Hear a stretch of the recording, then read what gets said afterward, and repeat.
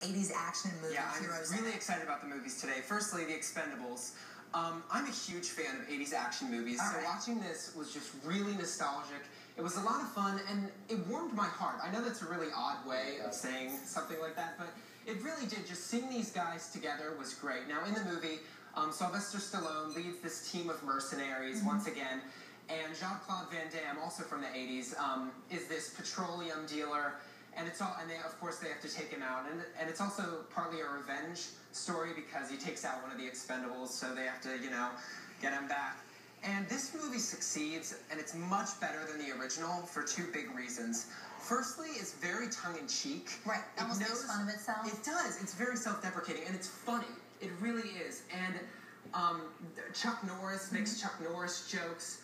Um, arnold schwarzenegger says i'm back it's great and there's a new director here this time around simon west and he's very good he has an eye for action scenes as well as um, face? there's some character development in here Right. it's really good i had a great time everyone in the theater was laughing i really enjoyed it So if you didn't like the first one, you would actually you like might because the first one was really serious. It and did. that It sort of killed all the fun It in it. did. Because Mhm. 80s movies, you know, I love Terminator, Die Hard, um, Commando, Rambo. They're they're sort of goofy. They're sort of cheeky. You know, I mean, not all of them, of course, but when you look at all 80s action movies, you know, So you give this, I gave it four out of five stars. all right, highly recommended by Connor. Oh God, awesome. it's And then you saw a totally different. I saw movie. Paranorman, which is about this kid who sees ghosts, and he's sort of misunderstood by his family and his um, classmates, and he accidentally awakens the dead, and of course he and his friends must save the day and Uh-huh. stop everything.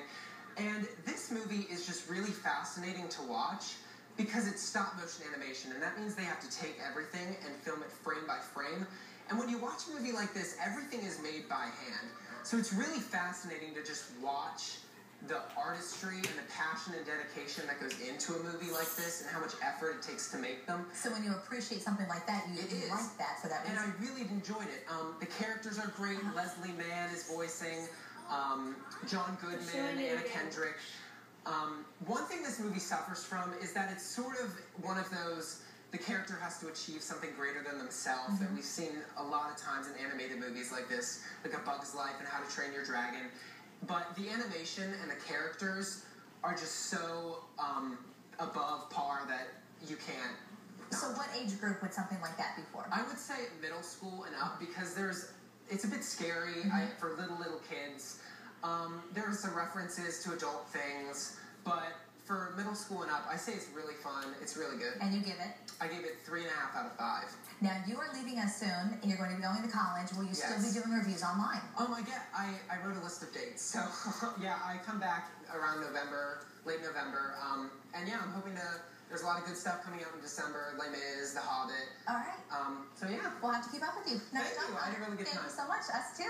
The time right now is 9.50, 71 degrees on TV Hill. You didn't say anything about me. Makeovers. Yes, it is that Good job! Excellent. And I love my sister Alex. She's so cool.